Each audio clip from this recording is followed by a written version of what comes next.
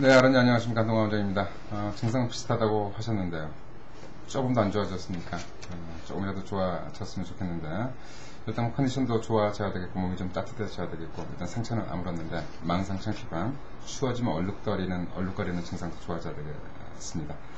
어, 이번 처방은 뭐 지난번 처방하고 동일하게 하겠, 고요 어, 부유하면서 저 조금이라도 조금이라도 좋아지기를 기원, 기원하면서 처방하도록 하겠습니다. 처방하고 바로 연락드리겠습니다. 감사합니다.